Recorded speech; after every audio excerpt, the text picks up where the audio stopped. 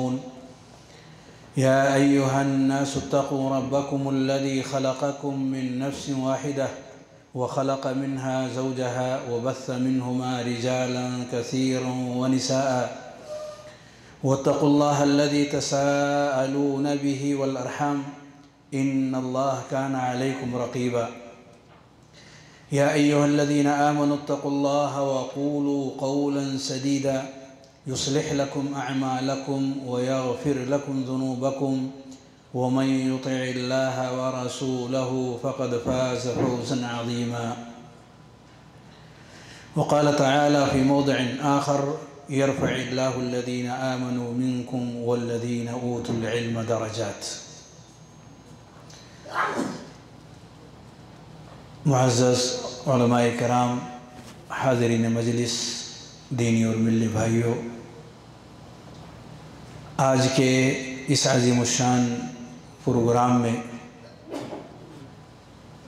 जिस मौजू के तहत कुछ देर आपसे रूबरू होने का अल्लाह रब्बुल आलमीन ने शरफ बख्शा है, जैसा कि हम सबने सुना, मौजू है सहाब कराम का इल्म हासिल करने का तरीक़ा।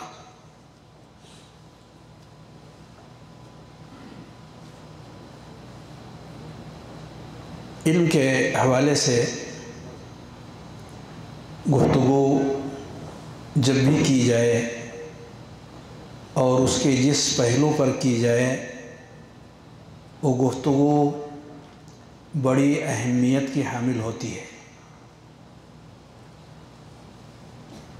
क्योंकि अमल अगर इल्म के बग़ैर हो तो वो अमल जलाल कहलाता है। गुमराही होता है। उसकी कोई हैसियत, उसका कोई वैलू और मर्तबा अल्लाह रब्बुल आलमीन के यहाँ नहीं होता। और ख़ास तौर से जब किसी मौजू का ताल्लुक़ दुनिया के पाकिज़ा तरीन लोगों में उन नफोस क़ुदसिया के हवाले से हो, जिन्होंने प्यारे रसूल सल्लल्लाहु अलैहि वसल्लम को देखा, आपकी तर्ज़ ज़िंदगी को उन्होंने मुशाहिदा किया और देखी सुनी हुई चीज़ों को लोगों तक पहुँचाने की कोशिशें की हों। तो फिर गुफ्तु और ज़्यादा अहमियत की हामिल हो जाती है। इल्म से मुराद क्या है? सहाब कराम का तरीक़ा इल्म हासिल करने में क्या रहा है? इसमें सबसे पहला कलिमा जो वजाहत तलब है, हालाँकि वो वाज है कि इल्म से मुराद क्या है? कौन सा इल्म है? जी, आपसे सवाल है। इल्म दीन इस इल्म को अल्लामा इब्न क़य्यिम रहमहुल्लाह ने अपने अल्फाज में यूँ बयान किया अलम क़ाल अल्लाह, क़ाल रसूलुहु, क़ाल सहाबतु हम इरफानी। कि इल्म नाम है अल्लाह के फरमान रसूल करीम सल्लल्लाहु अलैहि वसल्लम के फरमान और सहाब कराम के फरामीन का। इन तीनों के अकवाल को इल्म कहा जाता है। तीनों से जो चीज़ें आएँ, अल्लाह से, रसूल करीम वसल्लम से, सहाब कराम से तो उसको इल्म शरई कहा जाता है। इल्म दीन का उसे नाम दिया जाता है। ये इल्म शरई हासिल करना है हमें, और हर मुसलमान को हासिल करना चाहिए। और इसके हुक्म के हवाले से हम बखूबी जानते हैं कि इसमें से कुछ चीज़ें ऐसी हैं जो हर मुसलमान पर ज़रूरी हैं, वाजिब हैं। लेकिन ये इल्म क्यों हासिल किया जाता है?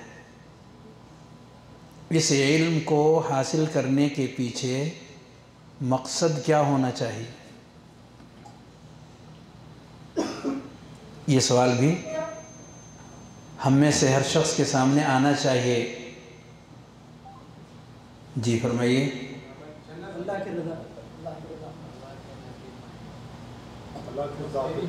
हम क्यों इल्म शरीयत हासिल करना चाहते हैं? हाथ उठाएँगे तो मैं पूछूँगा।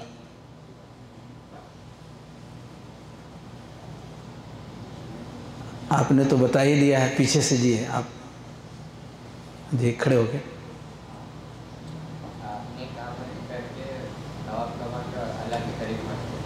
बारक फ़ी तशरफ जी हमारी दुनिया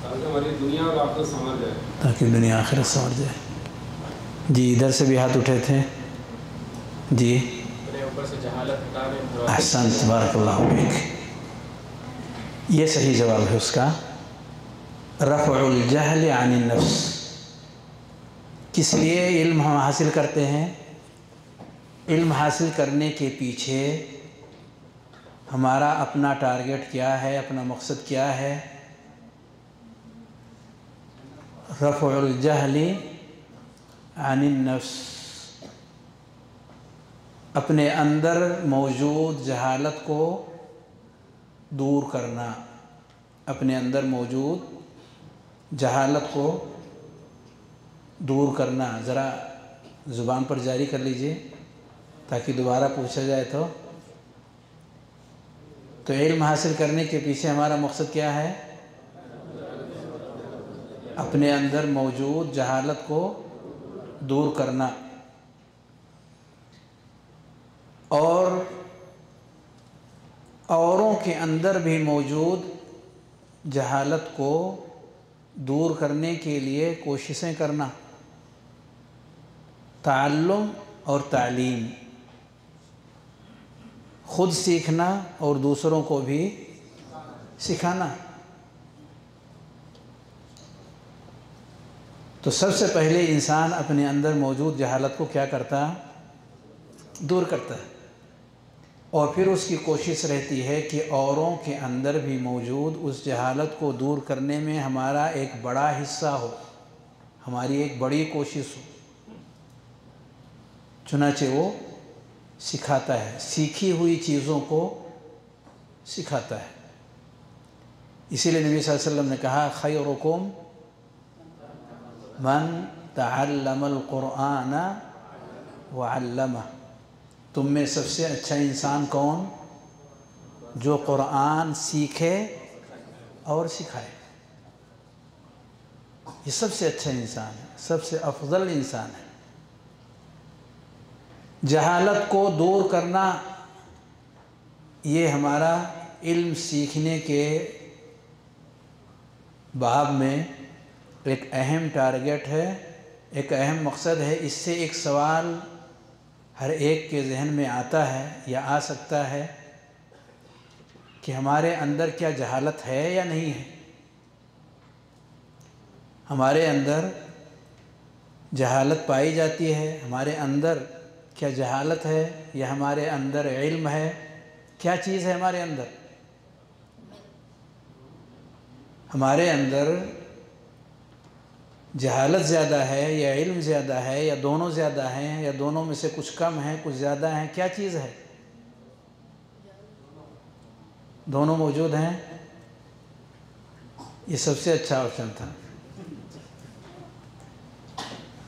कि आप इधर से भी पकड़ें या उधर से भी पकड़ें तो कहीं ना कहीं वो ठीक हो ही जाए। कौन सा ऑप्शन आपको चुनते हुए ज़्यादा अच्छा लगता? हम में से हर शख्स के अंदर सिर्फ़ जहालत है या सिर्फ़ इल्म है या ज़्यादा जहालत है या ज़्यादा इल्म है या दोनों ज़्यादा है या दोनों कम है। बहुत ऑप्शन हो गया। ये ज़रा ठीक लगता है।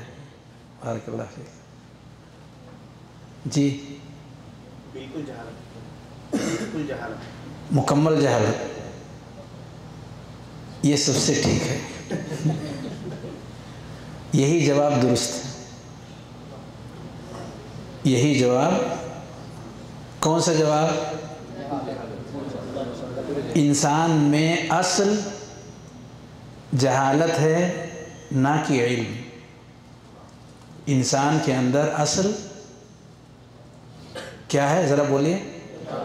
जहालत है, ना कि इल्म। इसके ताल्लुक़ से अगर दलील ढूंढें तलाश करें। जी बेटा।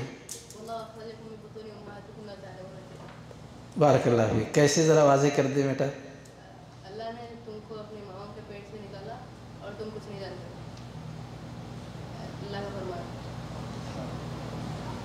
बरमहल बर वक्त ज़बरदस्त अंदाज की एक वाज दलील बच्चे ने पेश की है। वल्लाहु अखरजकुम मिन बुतून उम्महातिकुम ला तअलमूना शैअन तुम कुछ भी नहीं जानते थे जब माँ के पेट से पैदा हुए।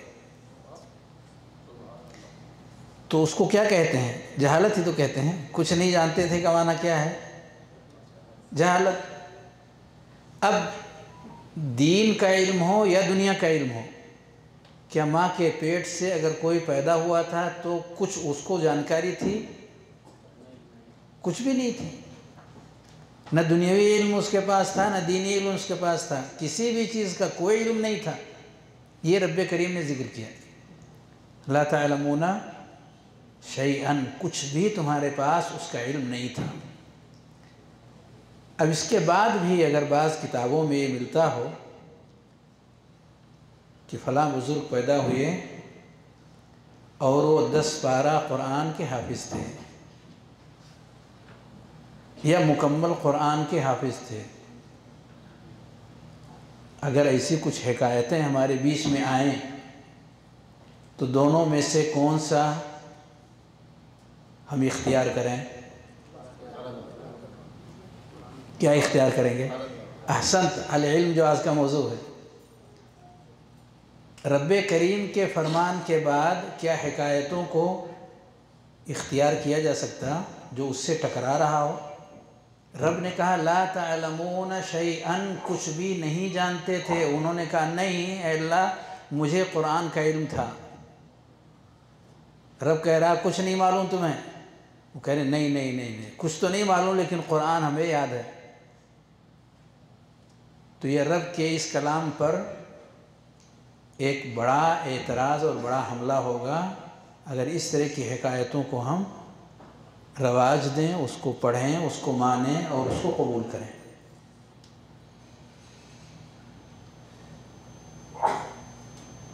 तो इस एतबार से अगर हम तलब इल्म का आगाज़ कर रहे हैं, हम सीख रहे हैं और सहाबा के मनहज और तरीक़े को इख्तियार करना चाहते हैं तो हमें वही करना चाहिए जो उन्होंने किया।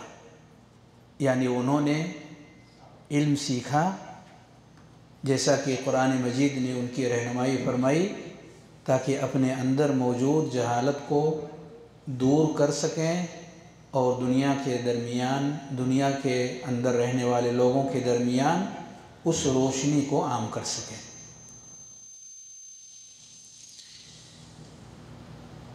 इस इल्म के हासिल करने के पीछे जहाँ ये मकसद हो, क्या कुछ दुनियावी मकासद भी उसके साथ चल सकते हैं? यानी हम इसलिए हासिल करते हैं ताकि हमें अच्छी नौकरी मिल जाए। हम इसमें महारत इसलिए हासिल करते हैं ताकि समाज के अंदर हमारी एक हैसियत और हमारा एक मकाम हो जाए। क्या ये चीज़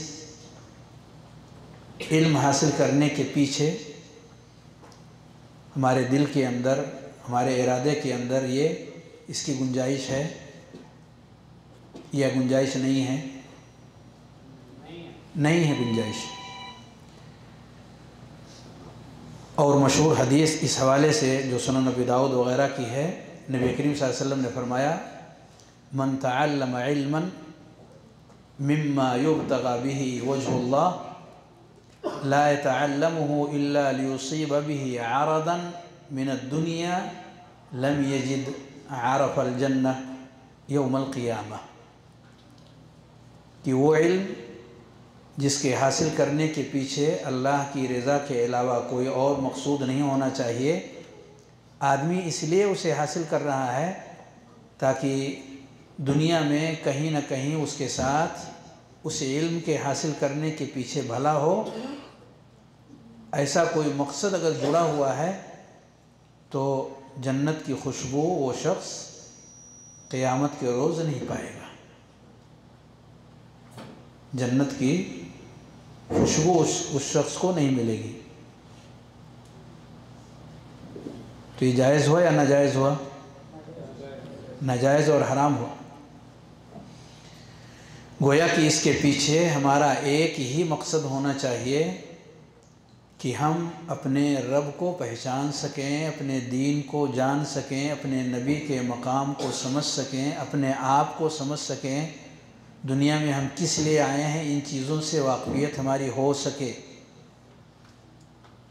ये सब जो जानकारियाँ हैं, इल्म हासिल करने के नतीजे में हमें हासिल होती हैं। अब्दुल्ला बिन मसूद रज़ी अल्लाह तआला अन्हु फरमाते हैं लईसल इल्मु बिकसरत रिवाया वलाकिन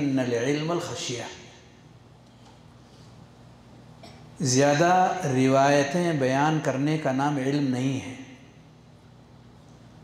इल्म नाम है अल्लाह रब्बुल आलमीन का खौफ और उसका डर दिलों के अंदर पैदा हो जाने का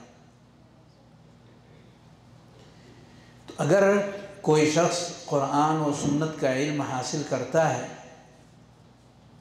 और उससे मुतासर होता है, उसके असरात उसकी ज़िंदगी में आते हैं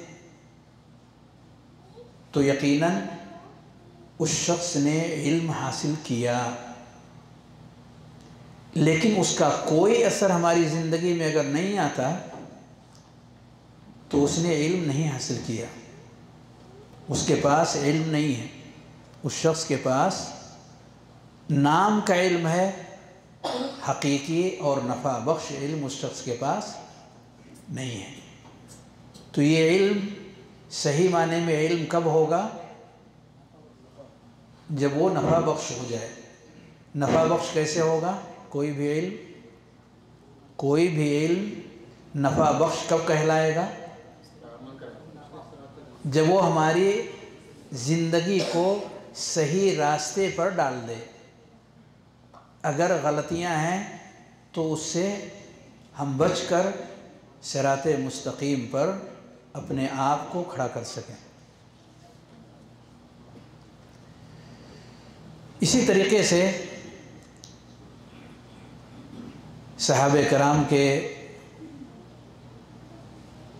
तरीक़ों में से एक तरीक़ा इल्म के हासिल करने के बाब में ये रहा है कि वो हमेशा क़ुरान, अहादीस के नसूस को ज़ब्त करने और उसे याद करने में अपने आप को लगा देते थे। उनकी कोशिश क्या होती? कि जो हम सुन रहे हैं उसको याद कर लें। सिर्फ़ सुनने की हद तक ना रहे, बल्कि सुनने के साथ साथ हम उसे हिफ्ज भी कर लें। इसीलिए कहा जाता है, इल्म नाम है दो चीज़ों का। इल्म नाम है दो चीज़ों का। नंबर एक हिफ्स नंबर दो, फहम। नंबर दो, फहम। हिफ्स नंबर दो, फहम। यानी जो हमने सीखा, जो हमने याद किया है, उसको हम समझें। अल्हम्दुलिल्लाह रब्बिल आलमीन, जो हमने पढ़ा तो इसमें क्या चीज़ कही गई है? वो हमारे जहन में आ सके, उसको हम समझ सकें कि इसमें अल्लाह रब्बुल आलमीन की तारीफ़ बयान की गई है। तो ये इल्म के दो हिस्से हैं। इल्म के ये दो हिस्से हैं। पहले हिस्से का नाम हिफ्ज है, दूसरे हिस्से का नाम फहम है। ये दोनों जमा हो जाती हैं तो वो इल्म नाफे बनती है।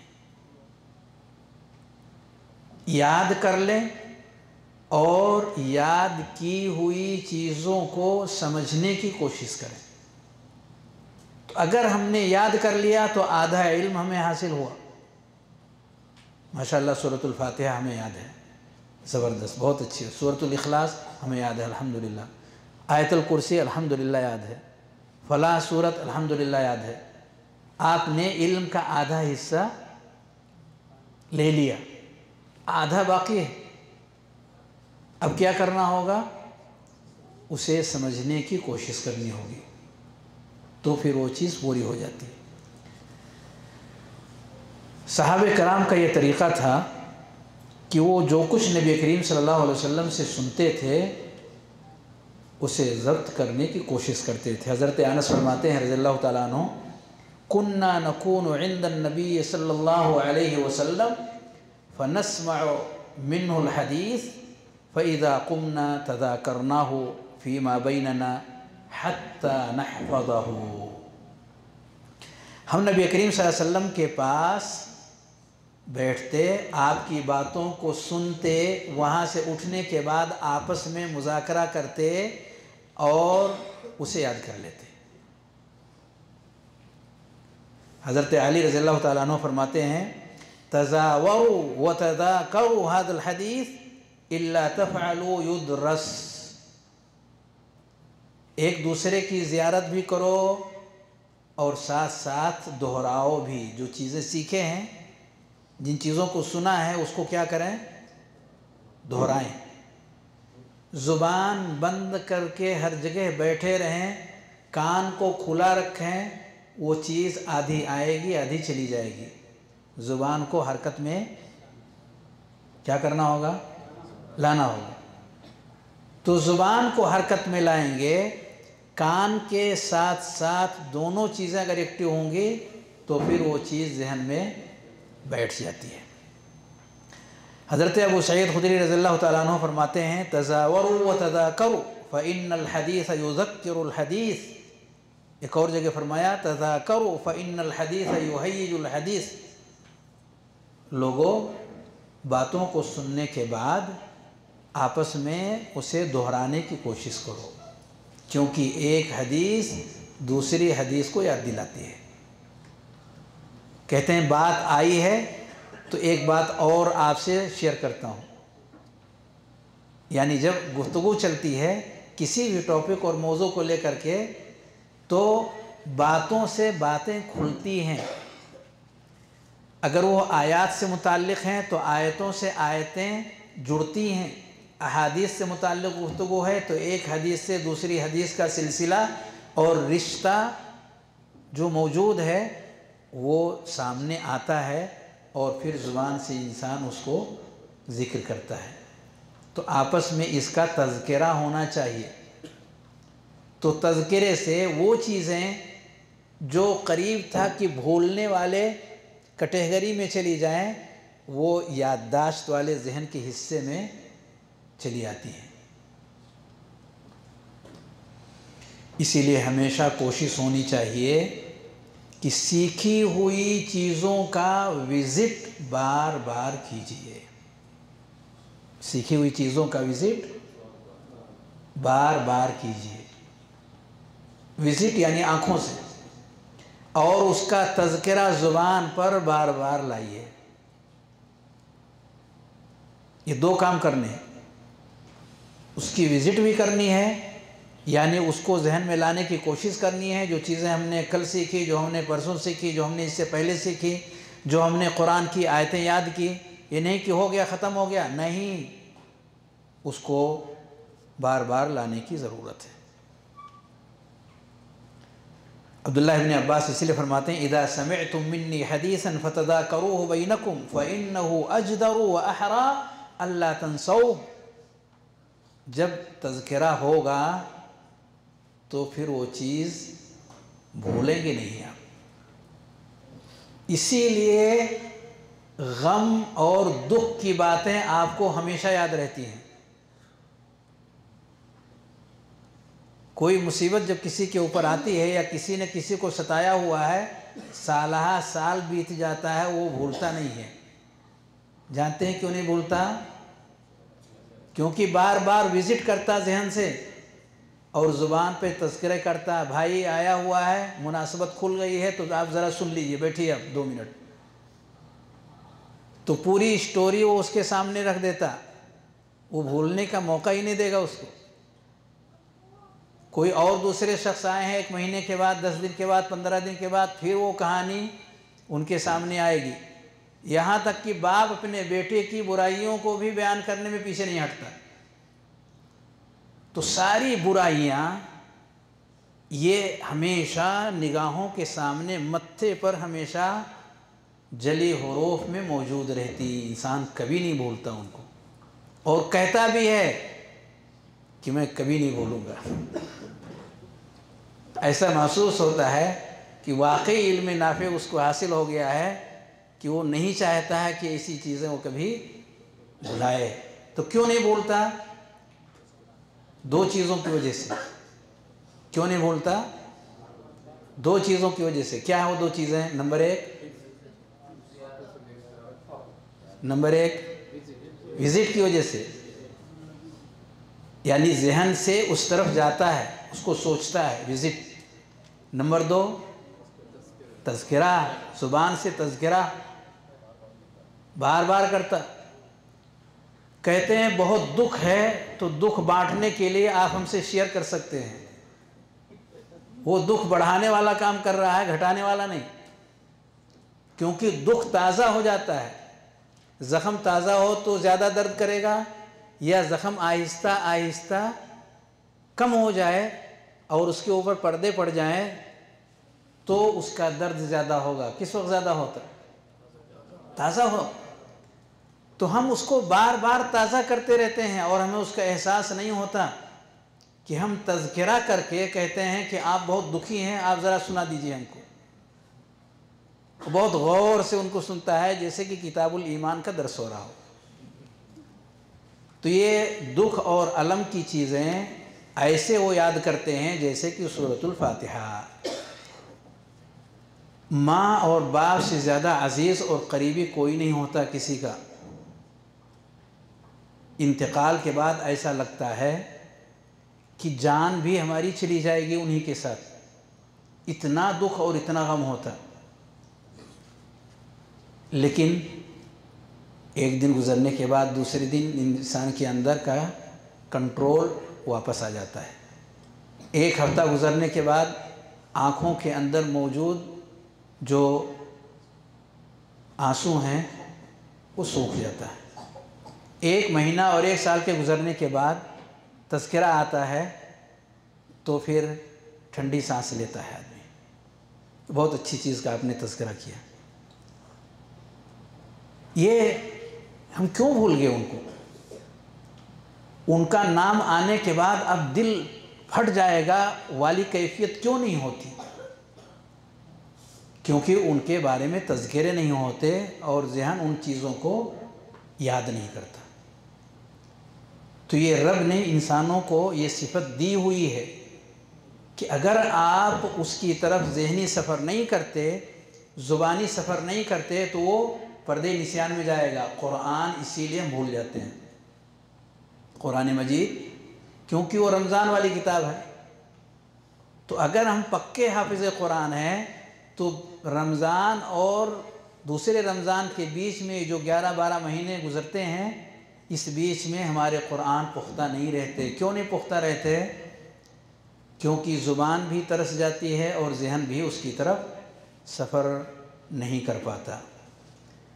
इसलिए इस चीज़ पर हमें तोज्जो देनी है। ये सहाब कराम का तरीक़ा था जो उन्होंने ज़िक्र किया कि कैसे आप इन चीज़ों को मज़बूत रख सकते हैं।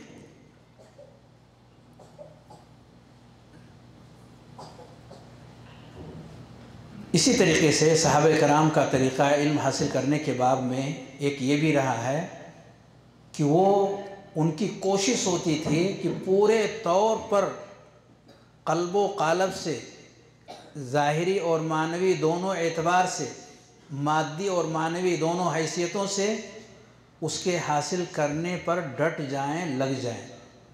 अतफ़र ताम मुकम्मल। और दूसरी चीज़ों से, दूसरी चीज़ों को बीच में लाकर डिस्टर्ब करने का ज़रिया न बने। किसी और चीज़ को बीच में ना आने दें। ज़रा देखिए हज़रत वहर्रा रज़ी तहों की गुफ्तु की रोशनी में। फरमाते हैं इन इखवानना मिनल महाजरीन, कान यशगलहमसफ़ बिल असवाक़, व इन इखवानना मिनल अंसार, कान यशगलहमल फ़ी अमवालिहिम, व इन अबा हुरैरत कान यलज़म रसूल अल्लाह सल्लल्लाहु अलैहि वसल्लम बिशबዕ बतनिही व यहदुर मा ला यहदुरून व यहफ़ज़ मा ला यहफ़ज़ून हज़रत अबू रज़ी तु ज़िक्र फरमाते हैं कि हमारे जो महाजिर भाई हैं वो बाज़ार में ख़रीदो फ़रोख्त का काम करते हमारे जो अंसारी भाई हैं वो जो खेत और इस तरह के दीगर जो काम हैं, उसके अंदर वो मशगूल हो जाते हैं। और अबू हुरैरा यानी अपने बारे में कह रहे हैं कि वो रसूल करीम सल्लल्लाहु अलैहि वसल्लम के साथ लगे रहते थे। बिशब बतनी ही खाना पीना, सोना, जागना, उठना, बैठना, सब कुछ पूरे तौर पर उन्होंने अपने आप को मस्जिद नबी के अंदर वक्फ कर दिया था। और उनके साथ साथ और भी बहुत सारे साहब कराम थे जो उस जगह पर मौजूद होते थे। इसीलिए फरमाते हैं वहदुर माला यहदुरून। चुनाचे इन्हें नबी करीम वसल्लम के साथ हाज़िरी की ऐसी ऐसी सादतें हासिल हो जाती जो औरों को नहीं हो पाती, क्योंकि उनके पास और कोई काम ही नहीं था, सिवाय इसके कि नबी वसल्लम की चीज़ों को देखें और सुनने की कोशिश करें। वह यहफ़ुमाला यहफ़ून और इसीलिए नबी करीम वसल्लम के फ़रामीन को और आपके ज़रिए से आई हुई चीज़ों को वो ज़ब्त करने और हिफ्ज़ करने की पूरी कोशिश करते थे, जो औरों के हिस्से में नहीं आ सकी। तो इससे क्या पता चला? इससे पता ये चला कि अगर कोई शख्स ये चाहता है कि इल्म हासिल करे, इल्म का यानी इल्म नाफ़े का वो शख्स एक बड़ा हिस्सा अपने अंदर ला सके तो साहब कराम के तरीक़े पर चलते हुए वो अपने आप को ज़्यादा से ज़्यादा फारग करने की कोशिश करे। और जितनी चीज़ें अलग से जो चीज़ें आएँगी उसको डिस्टर्ब करेंगी, उसी कदर वो शख्स इल्म से दूर होता जाएगा और जो नफ़ा बख्श इल्म है, उसका हिस्सा उसके हक़ में कम से कमतर होता जाएगा। साहब कराम के तरीक़ों में से इल्म हासिल करने के एक ये था कि दुनियावी बहुत सारी मशगूलियात की वजह से वो नबी करीम वसल्लम को ज़्यादा वक्त नहीं दे पाते थे। तो उनकी कोशिश ये थी कि जहाँ हम मुकम्मल वक्त नहीं दे सकते हैं तो कुछ वक्त दें। इसीलिए कहा जाता है शय उन खैर उन मिल्ला शय। कुछ हासिल कर लेना, ना हासिल करने से बेहतर है। अगर हम पूरा नहीं वक्त दे रहे हैं तो कुछ वक्त हमारे पास है, वो तो हम लगाएँ। ये तरीक़ा साहब कराम का तरीक़ा है। जितना हमारे पास वक्त निकल रहा है, वो वक्त हम सर्व करने की कोशिश कर रहे हैं। ये तो हज़रत वोरा जैसे लोगों की मिसालें थी कि उन्होंने अपने आप को वक्त कर दिया था। लेकिन कुछ ऐसे भी हैं कि जो मुकम्मल तौर से अपने आप को नहीं लगा सकते तो फिर उन्हें क्या करना चाहिए? कहा, जितना वो कर सकते हैं, उतना वो कर ले। और बाकी हिस्से, उसकी भी फ़िक्र थी उन्हें उसकी भी फ़िक्र थी और उसके ताल्लुक से उनकी कोशिशें भी लाजवाब थी कि बकिया जो हिस्से हैं, वो अपने दूसरे साथियों की मदद से उसको हासिल कर लेते थे। जिसमें हाजिरी की शहादत उन्हें नहीं हो पाती तो उनकी कोशिश ये रहती थी कि दूसरे शख्स, दूसरे अफराद जो उसमें शरीक होंगे, उनसे हम हासिल कर लें। ज़रा देखिए हज़रत उमर रज़ी तु का वाक़ वो फरमाते हैं कौन तो अना वजारली मिनल अंसार फ़ी बनी उमैत बन ज़ैद वही मिन अवालमदीना वकुन्ना नतनावबुन्नज़ूल अला रसूल सल्लल्लाहु अलैहि वसल्लम यंजिल यौमन व अनजिल यौमा फ़ैदा नज़ला जितुहु बेखबर ज़ालिकल यौम मिनल वही व इदा नज़ला फ़ाल मिसल हज़रत उमर रज़ी तु फरमाते हैं कि मैं और मेरे एक पड़ोसी हम दोनों ने आपस में इत्तेफाक कर लिया कि एक दिन हम अपने दुनियावी काम काज को देखेंगे और आप नबी करीम वसल्लम की बारगाह में हाज़िरी दें और जो चीज़ें वहाँ से आपको हासिल हों आप आकर के यहाँ हमें भी बता दें और दूसरे दिन हम हाज़िरी दें और आप अपने दुनियावी काम काज को देख करके उसे ठीक करें और हम आपको जो नबी करीम वसल्लम से हासिल करेंगे, वो आपसे शेयर कर लेंगे। गोया कि नबी करीम सल्लल्लाहु अलैहि वसल्लम की पूरी ज़िंदगी को हासिल करने के लिए उन्होंने ये तरीक़ा इख्तियार किया। कि जो वक्त मैसर है, उसमें हम खुद हाज़िरी देंगे और जो हमारे पास वक्त मैसर नहीं है, दूसरों के साथ मुशारकत करते हुए, उनकी शिरकत से फ़ायदा उठाते हुए, उनसे हम सीखने की कोशिश कर लेंगे। ताकि कुछ भी ज़ाय ना होने पाए। ये उनकी बहुत बड़ी कोशिश थी। गोया कि इसके अंदर पैगाम है कि जो शख्स मशगूल है, अपनी ढेर सारी चीज़ों के अंदर कुछ वक्त उसे मैसर आता है तो ज़रूर उस वक्त से वो फ़ायदा उठाए और बकिया अवकात में दीगर उसके दीगर अहबाब जो उसमें शरीक हों, उनके ज़रिए से बाकी चीज़ों को या जो भी उसके वसाइल हैं, दीगर वसाइल के ज़रिए से वो उसे हासिल करने की कोशिश करें। उनके तरीक़ों में से इल्म हासिल करने के बाद में एक नहायत ही अजीमुशान तरीक़ा ये था कि सुनी हुई बातों को नोट करने की भी कोशिश करते थे। देखिए, माशाल्लाह लिख रहे हैं। ये तरीक़ा किसका है? सहाब कराम का तरीक़ा रहा है।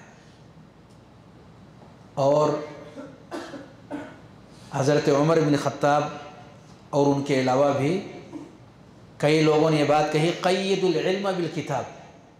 सुनी हुई बातों को लिख लो और उसे बाँध लो। उसे लिख करके बाँध लो, जाने न पाए। क्योंकि अगर उस चीज़ को हम नोट नहीं करते हैं तो उसके बाद जो दूसरी बात हम सुनेंगे, वो पहली बात को भुला देगी। याद ही नहीं रह जाएगा। और फिर तीसरे के बाद चौथी बात जब सुनेंगे और उसके बाद वाली बात सुनेंगे और फिर उसके बाद वाली सुनेंगे तो पहली जो चीज़ें रहेंगी, आहिस्ता आहिस्ता एक एक करके हम सब भूलते चले जाएँगे। तो तरीक़ा क्या है उसको रोकने का और उसे अपने पास महफूज करने का कि जल्दी से उसको नोट कर ले।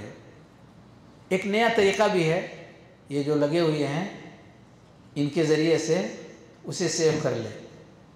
लेकिन जानते हैं, दोनों में कितना बड़ा फ़र्क है साहब कराम के इस तरीक़े को अपनाने और इस नए तरीक़े को अपनाने में नफ़ा बख्श है फ़ायदेमंद है, ये हो बहु नोट कर लेता।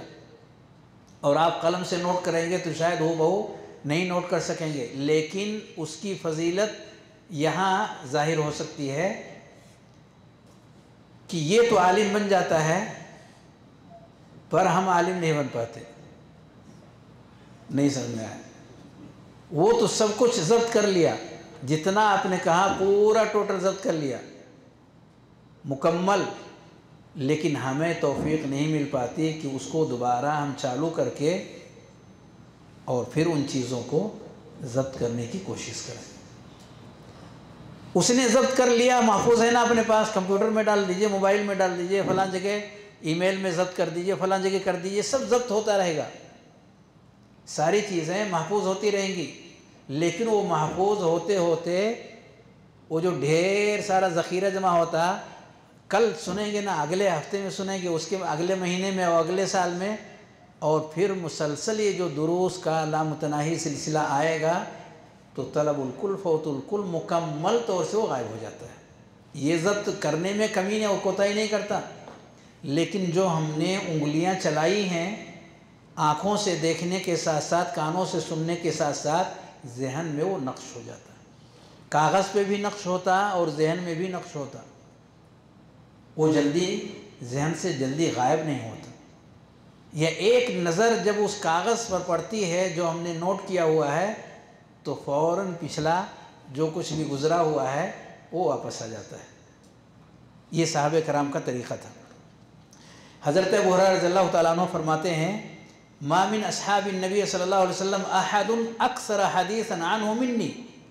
नबी करीम वसल्लम के साथियों में से कोई भी साथी ऐसे नहीं थे कि जो नबी करीम वसल्लम से मुझसे ज़्यादा हदीसें बयान करते थे, सिवाय अब्दुल्लाह इब्न आमिर इब्न आस के। सिवाय अब्दुल्लाह इब्न आमिर इब्न आस के। फ़ैन वो खान यकतुबुल हदीस वो आना ला क्योंकि वो लिखते थे और मैं नहीं लिखता था। वजह क्या बताया उन्होंने? क्योंकि वो लिखते थे और मैं नहीं लिखता था। लिखने का बहुत बड़ा फ़र्क है। अल्लाह ने उन्हें क़वत हाफिज़ा बहुत दिया हुआ था अरब को। एक बार और ख़ास तौर से हज़रत बोरा रज़ी तु को। और खसूसी दुआ भी नबी करीम वसल्लम ने उनके हक़ में फरमाई, जैसा कि सही बुखारी की रिवायत में है। तो इसलिए वो जो चीज़ें सुनते थे, सुनने के साथ साथ वो चीज़ उनके जहन दिमाग पर नक्श हो जाती थी। फिर भी वो कहते हैं कि वो जो लिखते थे, उसका असर है कि उनकी रिवायतें ज़्यादा हैं। उनकी रिवायतें ज़्यादा हैं और उस ज़्यादा होने की वजह उनका लिखना है। लेकिन तारीख़ ने ये देखा कि इसके बावजूद भी हज़रत अबू रज़ी तु की रिवायतें हर एक से ज़्यादा थी।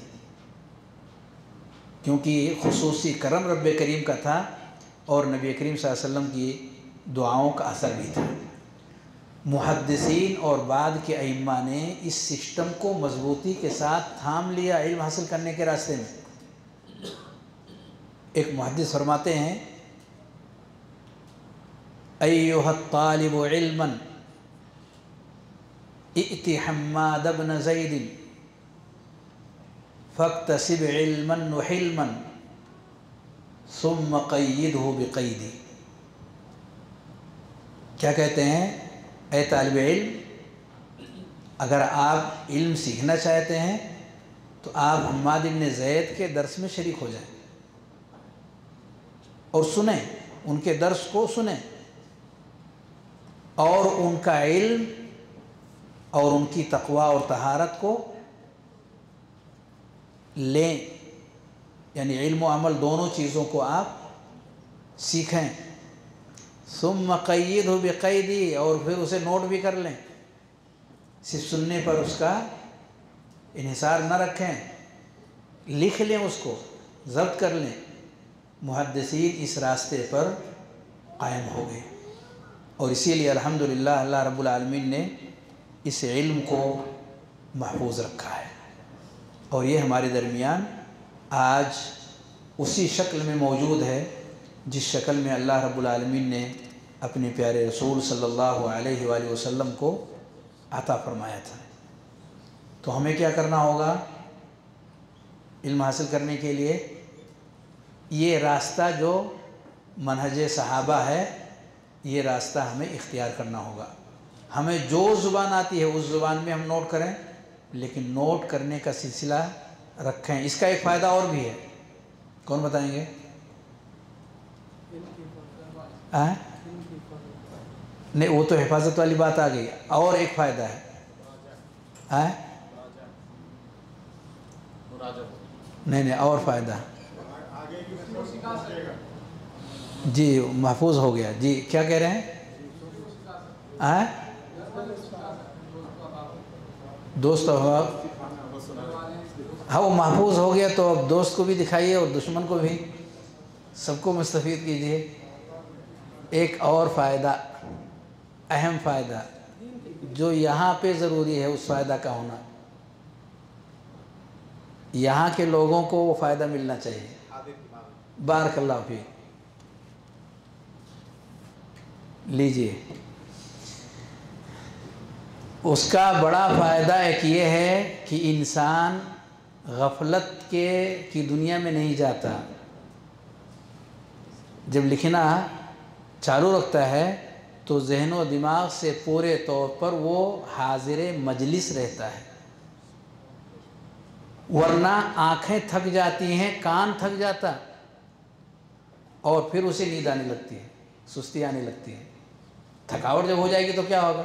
लेकिन जब कलम चलता है तो बोझ कई हिस्सों में बट जाता है।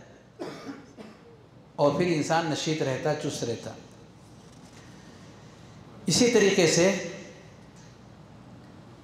उनकी कोशिश इल्म हासिल करने के बाद में ये भी रहती कि अगर यह मालूम और जानकारी जो किताब व सुन्नत के ताल्लुक़ से है, अगर ये मालूम किसी ऐसे शख्स के पास है जो हमारे बीच में नहीं है, बल्कि हमसे दूर है तो उस तक भी पहुँचने की वो कोशिश करते थे ताकि वो इल्म हमें हासिल हो जाए। अब्दुल्लाह बिन मसूद रज़ी तु फरमाते हैं, वल्लाहि लदी ला इलाहा गैरो, मा उनजिलत सूरतुम मिन किताबिल्लाह, इल्ला व अना अयन नज़लत। वला उनजिलत आयतुम मिन फ़ी मन नज़लत वला अअलमु अहदन अअलम मिन्नी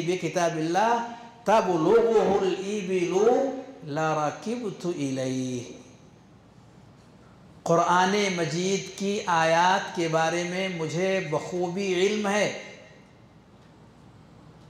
हर तरह का इल्म अल्लाह रब्बुल आलमीन ने कुरान मजीद की आयत के हवाले से हमें दिया हुआ है। अगर हमें ये मालूम हो जाए कि मुझसे ज़्यादा इन आयात के बारे में इल्म फ़ला शख्स को है, या ऐसा इल्म जो मुझे नहीं है, उन्हें है इन आयात के हवाले से, और वहाँ तक मैं पहुँच सकता हूँ, सवारी को इस्तेमाल करके लरकिब तो इले तो मैं वहाँ पहुँच जाऊँ। कौन कहते हैं? कौन कहते हैं? ज़रा ज़ोर से बोलिए अब्दुल्ला इब्ने मसरूद रज़ी अल्लाह तु सहाबा हैं उनके उनके अंदर का और ये सिर्फ़ तमन्ना ही नहीं था। हज़रत जाबिर रज़ी अल्लाह तु फरमाते हैं कि एक शख्स से हमें एक हदीस का इल्म हुआ। एक शख्स के बारे में एक हदीस की जानकारी मुझे हुई कि उन्होंने नबी करीम सल्लल्लाहु अलैहि वसल्लम से सुना है फश तो तो मैंने एक ऊँट ख़रीदा, एक हदीस। सुम्मा शदत तो अलह रहली फसिर तो शारन। एक महीने तक मैं मुसलसल सफ़र करता रहा, यहाँ तक कि मैं उनके पास मुल्क शाम पहुँचा। तो जिनसे मुलाकात हुई, वो कौन थे? क्या नाम था उनका? जानते हैं आप? मशहूर वाक़ है। कई बार सुन चुके हैं। क्या नाम था?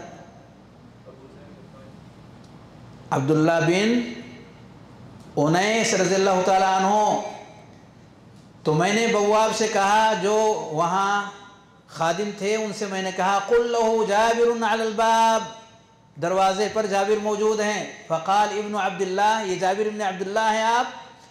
कुल तो नाम कह रहे हैं कि हाँ मैं जाबिर बिन अब्दुल्ला हूँ, फ़ाखारा जाया था ओसौ बहू वो भागते हुए बाहर निकले। नाम सुनते ही अब्दुल्ला बिन उनैस रज़ी अन्हु फ़ाताना क़नी व अतानक़्तुहु। और गले लग गए। मुआनका करना। फ़कुल तो हदीसन बलगनी अन अन्नक समिअतहु मिन रसूलिल्लाह सल्लल्लाहु अलैहि वसल्लम फिल क़िसास। एक हदीस आपने रसूल करीम वसल्लम से क़िसास के बारे में सुनी है। फ़खशी तो अन तमूत औ अमूत। मुझे ख़तरा हुआ कि कहीं आपकी वफ़ात हो जाए, ये मेरी वफ़ात हो जाए, कबल अन असमा उसको सुनने से पहले। नबी के मुँह से निकला हुआ कलिमा है। तबीयत चाहती है कि एक बार मैं उसको सुन लूँ। शौक़ लगन। कुरान मौजूद है, पढ़ने की तौफीक हमें नहीं हो रही है। कारी साहब पढ़ रहे हैं, क्यों लंबी सूरत पढ़ दी है आपने? हमारे कान को तकलीफ़ हुई। जबकि नबी करीम वसल्लम फजर की नमाज़ में कितना पढ़ते थे? कितना?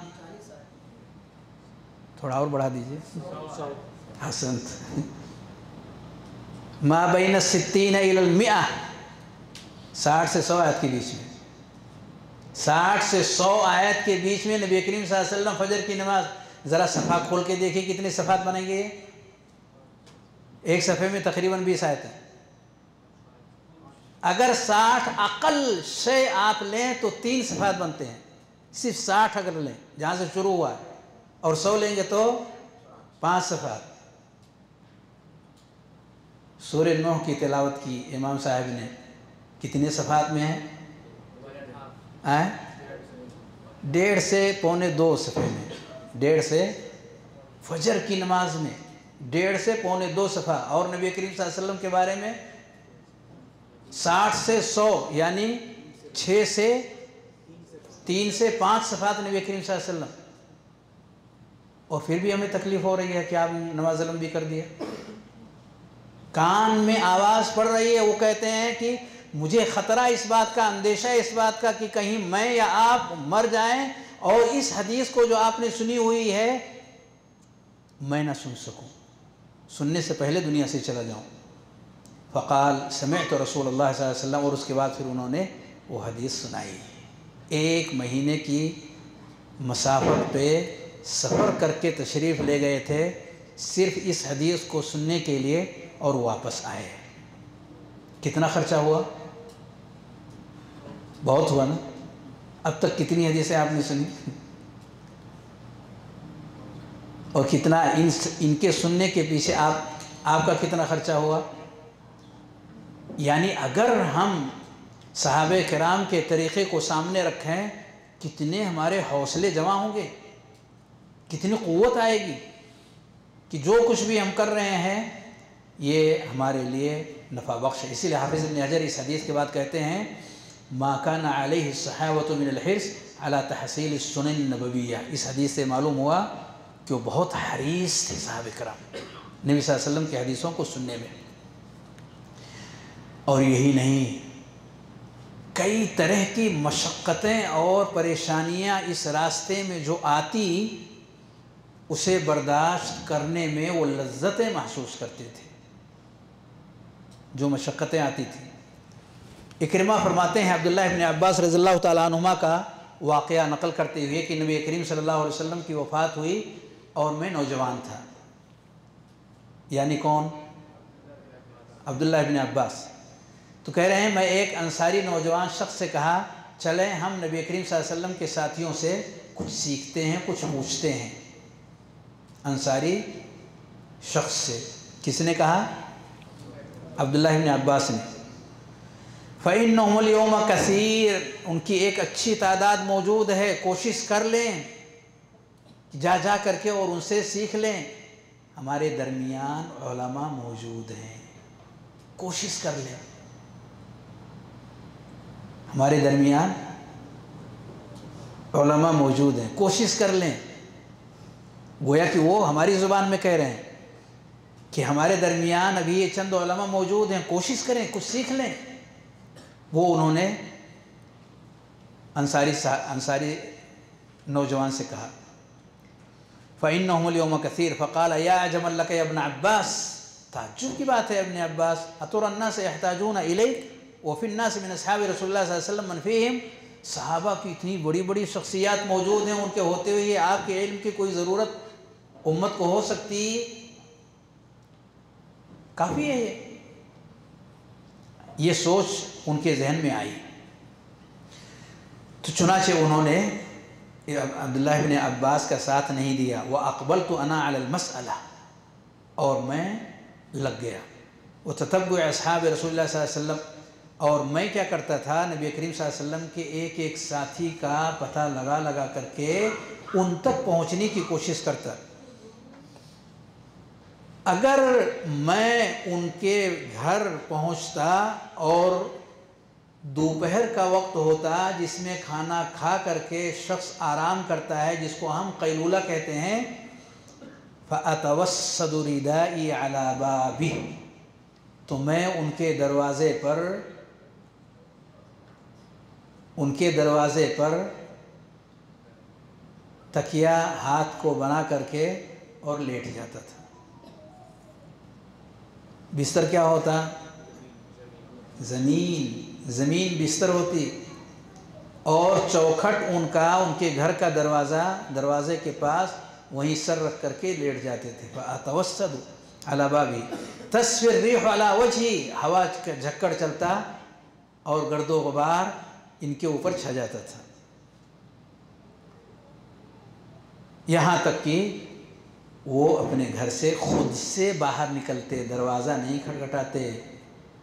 आज तो रात के बारह बज जाएँ, एक बज जाएँ, मोबाइल की घंटी बज रही है। उठाएँ, क्या बात है? एक मसला पूछना है। बारह एक बजे आपको मसला पूछना है, फजर की नमाज़ का क्या होगा?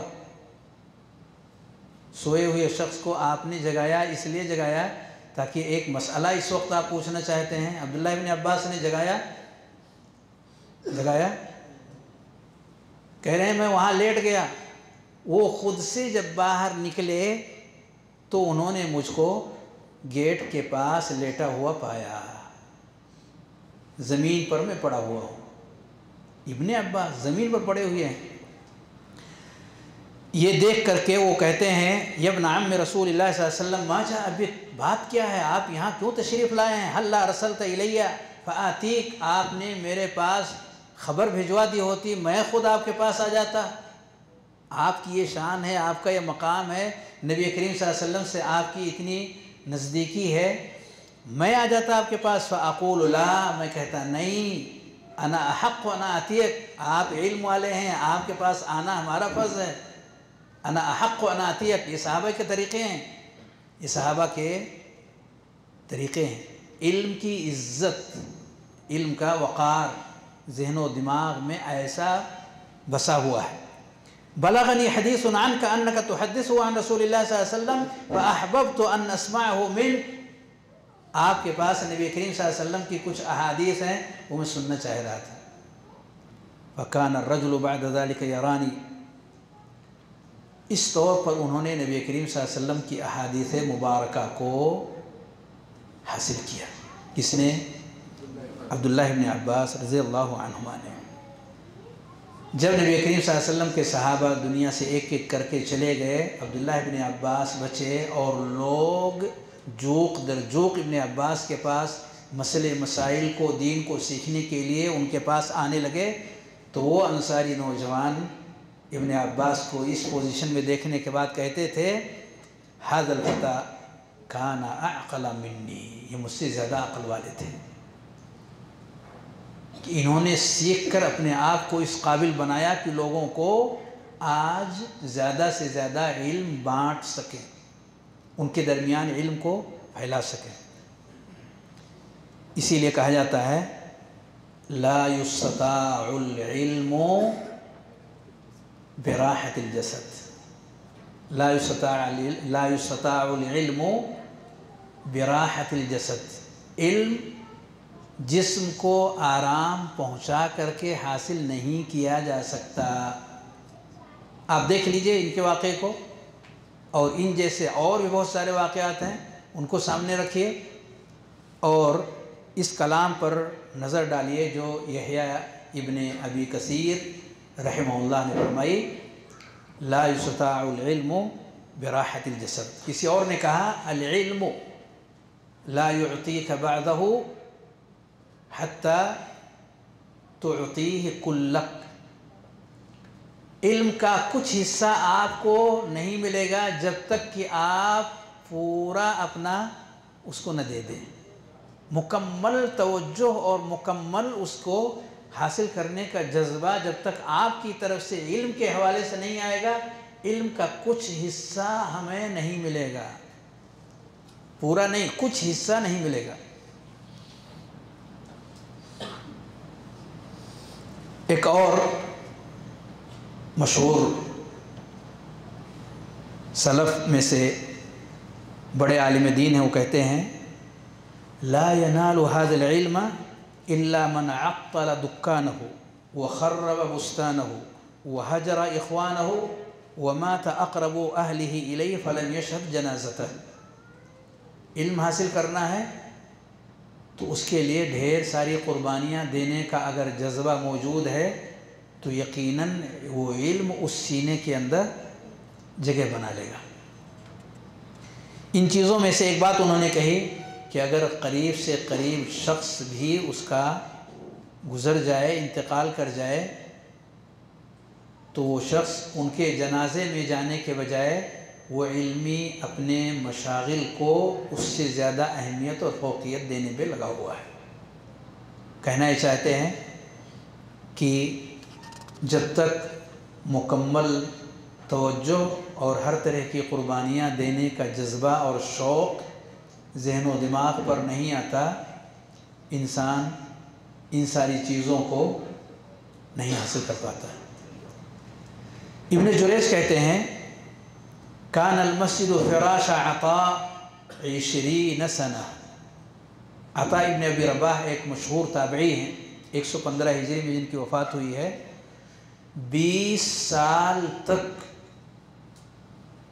मस्जिद को उन्होंने अपना बिछौना बना लिया था मस्जिद में पड़े रहते थे कितने साल तक 20 साल तक मस्जिद को उन्होंने अपना बिस्तर बना लिया था। क्योंकि वहाँ अहले इल्म आते और उनके दुरूस होते उससे इस्तेफादा करने की गरज से वो उसी में पड़े रहते थे। इमाम जोज़ी फरमाते हैं ताफ़ल इमाम अहमद हम्बल दुनिया मर्रतैन हत्ता जमालमसनत इमाम अहमद हम्बल ने पूरी दुनिया का दो बार चक्कर लगाया। उस ज़माने में जहाँ जहाँ इल्म हासिल करने के लिए जा सकते थे। इमाम अहमद हम्बल कितनी बार गए? दो बार। चल चल करके यहाँ तक कि उनकी वो किताब तैयार हुई, जिसको क्या नाम है? मुसनद अल इमाम अहमद इब्न हम्बल कहा जाता है। एक बहुत अहम पॉइंट है साहबा के मनहज में से कि वो जाकल्ला खैर। उनका एक तरीक़ेकार ये भी था, साहब कराम का। ख़ुद भी कोशिश करते थे हासिल करने की और किफ़ालत करने की भी कोशिशें होती कि जैसे हम वक्त नहीं दे पा रहे हैं, मशगूलियत आ गई तो उनकी एक कोशिश ये होती कि अगर कोई शख्स उनमें से हासिल करने के लिए पूरे तौर पर वक्फ हो रहा है तो उसकी कफालत और ज़िम्मेदारी हमारे हमारे ऊपर। किफ़ालत की ज़िम्मेदारी। ज़रा देखिए, अजीब व गरीब किस्म का वाक़ जो हज़रत अनस बिन मालिक रज़ी तु ने नकल किया है। हसन दर्जे की रिवायत है। फरमाते हैं, कान अखवान नबी सल्लल्लाहु अलैहि वसल्लम। दो भाई थे नबी करीम वसल्लम के ज़माने में। फ़कान आहद मायात नबी वसल्लम वल आखर यहतरफ। दोनों में से एक भाई नबी वसल्लम की खिदमत में पहुँचते, आपकी मजलिस में आते, सीखने के इरादे से, याद करने की गरज से, और दूसरे भाई काम करते, ताकि घर की रोज़ी रोटी और दीगर मसाइल को उस रास्ते से हल किया जा सके। फ़शकल मुख्तरफ अखा नबी सल्लल्लाहु अलैहि वसल्लम। काम करने वाले भाई ने नबी करीम वसल्लम के पास दूसरे भाई की शिकायत किया कि वो वक्त काम करने में नहीं देते। पूरा वक्त वो इल्म हासिल करने में लगा रहे हैं। यानी आपके पास पहुँच के सुबह से शाम पूरा वो लगा दे रहे हैं। पूरी हाजिर उधर हो जा रही है, इधर वो कुछ हाजिर देते ही नहीं हैं। फ़काल तो नबी करीम वसल्लम ने जवाब में कहा लाल का तुरज़को भी क्या कहा? लाल का तुरज़क भी शायद कि अल्लाह रब्बुल आलमीन आपको रोज़ी उसकी वजह से दे रहा है। यानी आपकी रोज़ी में जो बरकत आ रही है, जो रोज़ी आप हासिल करने के लिए मेहनत और मशक्क़त कर रहे हैं उसमें बहुत सारे इसबाब होते हैं रोज़ी में कामयाबी के। उन बड़े इसबाब में से आपका ये भाई है जो इल्म हासिल करने के लिए अपने अवकात को उसके ऊपर सर्व कर रहा है और आप अपने माल को उसके ऊपर खर्च कर रहे हैं। गोया कि ये एक अजीम शान रास्ता है हर उस शख्स के लिए कि अगर भाई हैं या करीबी रिश्तेदार हैं या करीबी न सही दूर के हैं तो नबी करीम वसल्लम के इस तरीक़े को अपनाते हुए, जैसा कि आपने उन्हें समझाया, यकीनन उसमें एक बहुत बड़ा खैर है। हॉस्टल का निज़ाम भी साहब कराम के ज़माने में था या नहीं था? इल्म हासिल करने के लिए? हॉस्टल का निज़ाम। कि भाई हम चाहते हैं कि आप हमें यहाँ ठहरने की इजाज़त दें और हम मुसलसल जब तक अल्लाह रब्बुल आलमीन हमें तौफीक देगा, हम यहाँ रह करके हासिल करेंगे और फिर चले जाएँगे। इसी को तो हॉस्टल कहते हैं। ये निज़ाम था नबी वसल्लम के ज़माने में साहबा के बीच? था, मौजूद? जैसे असहाब सुफ़ा जजाकमल्ला खैर। एक वाक़ मैं नकल करता हूँ सही बुखारी का। मालिक इबन हवैरिस रज़ी तु फरमाते हैं सही बुखारी सही मुस्लिम दोनों में काल अतैन नबी सल्लल्लाहु अलैहि वसल्लम व नहनु शबाबतुन मुतकारिबून फ़अक़मना इंदहु इशरीन लैला फ़अक़मना इंदहु इशरीन लैला फ़ज़न अन्ना इश्तक़ना अहलना वसाअलना अम्मन तरकना फ़ी अहलिना फ़अख़बरना वकान रफ़ीक़न रहीमा वकान रफ़ीक़न रहीमा फ़क़ाल इरजू इला अहलिकुम फ़अल्लिमूहुम वमुरूहुम वसल्लु कमा रअयतुमूनी उसल्ली व इदा हदरत सलाह फलयुअद्दिन लकुम अहदुकुम सुम्मल सुम्मल यउम्मुकुम अकबरुकुम रवाहुल बुखारी मुस्लिम क्या हुआ कहा कि हम नबी करीम वसल्लम के पास आए और 20 दिन मुसलसल आपके पास रह करके बहुत कुछ हमने आपसे सीखा। आए ही थे उसी मकसद से। मुसलसल 20 दिन रह गए। जहाँ हज़रत बोहरा और दीगर लोग थे, मालिक इबन खैरिस अपना वाक़ बता रहे हैं। कहा 20 दिन गुजरने के बाद नबी करीम वसल्लम को अंदाज़ा हुआ कि हम अपने घर के लोगों को याद कर रहे हैं, यानी हमारे अंदर घर की याद आने लगी है। और प्यारे नबी वसल्लम के अंदर नरमी, रहमत, मोहब्बत कूट कूट करके भरी हुई थी इंसानियत के हवाले से। तो आपने हमें इजाज़त दिया और कहा कि आप अपने घर लौट जाएँ। आपने पूछा कि कौन कौन आप किनको किनको छोड़ करके आए हैं और फिर आपने हमें इजाज़त दिया कि हम अपने घर लौट जाएँ, लेकिन आपने कुछ नसीहतें फरमाई। कुछ नसीहतें फरमाई। उन नसीहतों का यहाँ तस्करा किया गया कि वैसे ही नमाज़ पढ़ना, जैसे कि मुझे नमाज़ पढ़ते हुए देखे हैं, अजान दें और आप लोगों में से जो बड़े हैं वो नमाज़ पढ़ा दें। इससे पता चलता है कि अगर अल्लाह ने किसी को छुट्टी दे दिया एक महीने की, दो महीने की, मिल गया, एक वक्त मिल गया तो सहाबा के तरीक़े पर अमल करते हुए हमें क्या करना चाहिए? हमें उस जगह पहुँच करके कुछ कुर्बानी देना है, वक्त की कुर्बानी देना है। और भी बहुत सारे तरीक़े हैं। जा कर के वहाँ पर ठहर कर, रुक कर और ज़्यादा से ज़्यादा हासिल करने की कोशिशें करनी है। एक और चीज़ है, बच्चों में भी बहुत वलवला और उनके अंदर शौक़ और लगन था साहब कराम के यहाँ, बच्चों के अंदर। गोया कि हमें अपने बच्चों के अंदर भी इस चीज़ को पैदा करने की ज़रूरत है। इल्म दीन के सीखने का। इल्म दुनिया के लिए 98 परसेंट लोग पहले ही से तैयार हैं। इल्म दीन के हवाले से ये वाक़ आप सुनेंगे तो फिर आपको अंदाज़ा होगा कि बच्चे अज खुद नहीं, अपने घर के माहौल से मुतासर होकर, अपने वालदेन की तरबियत के नतीजे में ये शौक़ और वला अपने अंदर पाते हैं। ये वाक़ ज़रा सुनिए। किसका वाक़ मैं ज़िक्र करने जा रहा हूँ? नहीं। किसका वाक़ अब्दुल्ला बिन ज़ुबैर नहीं। अब्दुल्ला बिन उमर नहीं। अनस बिन मालिक नहीं। हैं? बोला। नहीं। हैं? नहीं। नहीं। नहीं। नहीं। ये सब बड़े लोग थे। मैं अभी जैसे करीब करने की कोशिश करूँगा, आप झट से बोल देंगे। छः साल, सात साल की उम्र के थे। करीब कर दिया एकदम। छः साल, सात साल की उम्र थी। क्लियर कर दिया एकदम।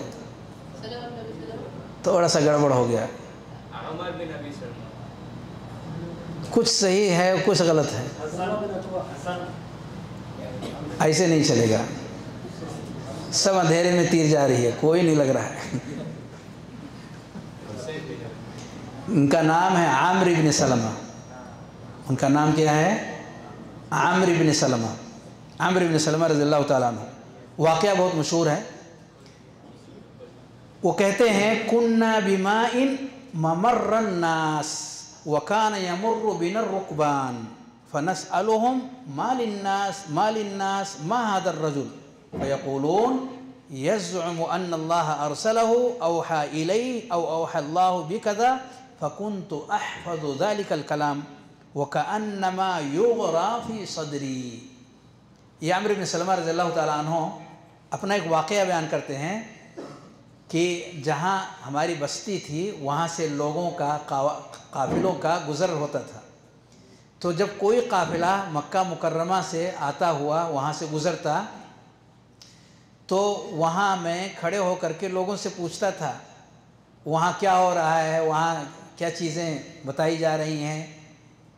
ये शख्स जिनके हवाले से पूरी बातें हैं तो कहते थे यज़ुम अल्लाह अरसला हो उनका कहना है कि अल्लाह ने उन्हें रसूल बना करके भेजा है।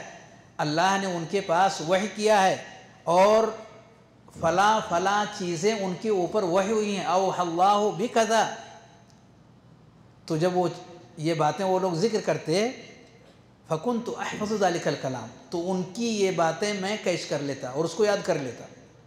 उनकी ये बातें सुन करके, ये पाँच छः साल का बच्चा, वो कह रहे हैं कि उनकी ये बातें मैं सुनता और सुन करके उसको क्या करता? याद कर लेता। कहते हैं, याद करने की कैफियत आप देखिए, वो कानमा योगराफ़ी सदरी। ज़बरदस्त चीज़ वो कानमा योगराफ़ी सदरी। योगरा क्या चीज़ है? योगरा गरा से है। चिपकने वाला। जैसे लसाका है। वो कान नमा योग गोया कि मेरे सीने में ये सब चिपक रही हैं। जो भी बातें मैं सुन रहा हूँ, कहाँ चिपक रही हैं? मेरे सीने के अंदर सब पूरी एक एक करके सब पूरी चिपकती जा रही हैं। चुनाचे जब नमाज़ का एक लंबा वाक़ आखिर में, नबी करीम वसल्लम ने कहा कि नमाज़ का वक्त हो जाए तो अजान दे और जो वल यमुकुम अक्सरुकुम क़ुरआनन, नमाज़ वो पढ़ाएगा जिसको कुरान जिसके पास कुरान ज़्यादा होगा। जिसके पास कुरान ज़्यादा होगा। कहते हैं, फ़नज़रु, फ़लम यकुन अहदुन अक्सर कुरान मिन्नी। तो बस्ती के सारे लोगों में जब निगाह उठा करके देखी गई कि किसको सबसे ज़्यादा कुरान याद है तो मेरा नाम आया कि मुझे सबसे ज़्यादा कुरान याद है। चुनाचे लिमा कुन तो अतलक्का मिनर रुकबान वो ख़ुद कहते हैं लिमा कुन तो अतलक्का मिनर रुकबान गुज़रने वाले लोगों से पूछ पूछ करके जो मैं याद कर लेता था, उसके नतीजे में मेरे पास याद की हुई चीज़ें सबसे ज़्यादा थीं। फ़कत दमोनी बैनादीम व अनबन सितिन और चुनाचे लोगों ने मुझे इमाम बना करके आगे बढ़ाया और उस वक्त मेरी उम्र कितनी थी? छः साल या सात साल। क्या पता चला? घर के माहौल को बेहतर बनाइए, ताकि आम्र बिन सलमा जैसे अफराद हमारे घरों के अंदर से भी उठें। कुरान पढ़ने का शौक़, उसे याद करने का शौक़, इस उम्र में अगर आ जाए तो वो का अन्नमा योगराफ़ी सदरी की कैफियत इन बच्चों के दिलो दिमाग में भी बैठ जाए। भाई, और भी कुछ चीज़ें हैं जो साहब कराम के हवाले से मौजूद हैं, लेकिन कई बार पर्चियाँ आ चुकी हैं। और एक चीज़ ख़ास तौर से इस पर ध्यान दें, सवाल के ज़रिए से वो लोग सीखते थे। नबी करीम वसल्लम कभी कभार अपनी तरफ़ से मुअल्लिम भी भेजते थे, ताकि वो जा कर के लोगों को सिखाएँ, लोगों के बीच में वो जाते थे।